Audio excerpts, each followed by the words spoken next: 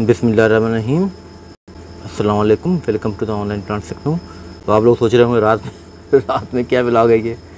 नहीं कुछ चीज़ें ऐसी होती हैं जो रात में ही दिखती हैं।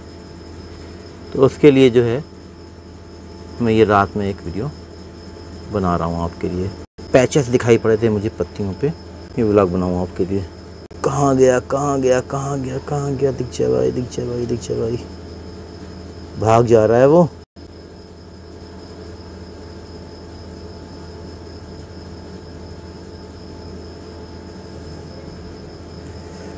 कुछ लीफ कर्ल हो रही हैं मेरी। लीफ कर्ल होने की बहुत सी वजूहत होती हैं। लेकिन एक वजह जो है, जो इस वक्त है, वो कल्प्रिट दिखाना चाहता हूँ मैं आपको। ये नहीं है।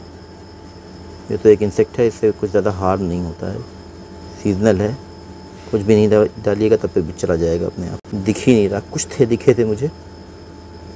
एक दिन मैंने रात में फ़ोटो खींची थी। ये कुछ हडेनिया मैं दिखा रहा हूँ आप देखने में शानदार लगी रही हैं। सेहत देखी कितनी सबकी। ज़बरदस्त। सब देखने में शानदार लग ही रहे होंगे आपको। कोई दिक्कत नहीं है। इस टाइम में भी नहीं कोई दिक्कत तेरी।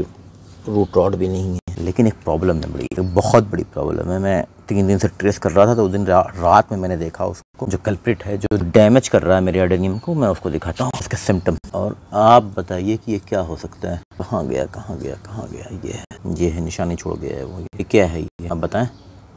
इसमें भी है, इसमें भी है ये। लेकिन इसमें थोड़ी सी शुरुआत है बस। इसमें देखिए थोड़ी सी शुरुआत। लेकिन है सब। ऐसे देखने में बहुत सही लग रहा है, बहुत हेल्दी है। लेकिन कुछ ही दीदों में ये यहाँ से लीव जो है वो लीव कर्ल होने लगती है। यहाँ से डिफार्म होने लगती है। लीव कर्लिंग की हल्की से शुरुआत यहाँ पे हुई है। हल्की से शुरुआत हुई है। तभी मैं समझ गया था कि कुछ ना कुछ यहाँ गड़बड़ हो रहा है। ये ये सिम्टम छोड़ा है इसमें और ये है जनाब थ्रिप्स कोई ये कह सकता है कि थ्रिप्स तो लगता नहीं है डेनियम में? तो भैया ये ट्वेंटी ट्वेंटी वन है, कोरोना भी नहीं सुना था कभी हम लोगों ने।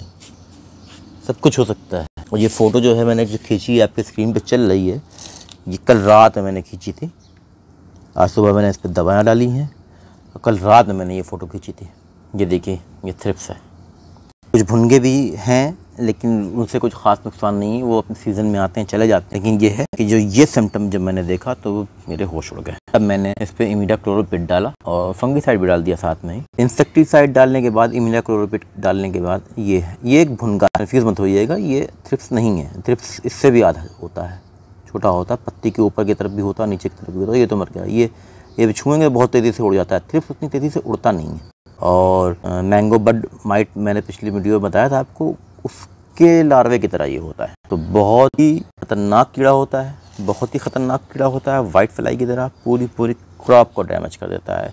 अगर आपने एक हफ़्ते ध्यान नहीं दिया तो इतनी जल्दी मल्टीप्लाई होता है वो, और सारी लीफ करनी उसके बाद में लीफ गिर जाएगी, लीफ पे पैचेस पड़ जाएँगे। ये सारे निश ये सारे मेरे इस बड़े वाले अडेनियम में इसमें तो बहुत आता था। बहुत आता था इसमें। ये ये देखिए। अब ये पिछले बार का है, जो पिछली बार मैंने दवाएँ डाल दी थी तो ख़त्म हो गया था ये तो दवाएँ डालना बहुत ज़रूरी होता है। कुछ हो चाहे नहीं हो, लेकिन एक टाइम टेबल बना लीजिए। उस टाइम टेबल के हिसाब से पेन और डायरी यूज़ कीजिए। उसके हिसाब से कर लीजिए। ये देखिए, शुरुआत हो चुकी थी किसी और कीड़े से भी ये हो सकता है, लेकिन थ्रिप्स से। ये एक पेड़ और है। इसमें भी था। नहीं डाल, डालता। जल्दी, ये तो जल्दी ट्रेस में नहीं आते ये। जल्दी पकड़ में नहीं आते हैं। इतने महीन होते हैं तो मैंने उसको रात में मैग्नीफायर से उसकी रात में फ़ोटो खींची ताकि वो पकड़ में आ जाए। तो कंक्लूजन ये निकलता है कि अडेनियम में भी थ्रिप्स लगते हैं। Hence proved thank you thank for watching happy gardening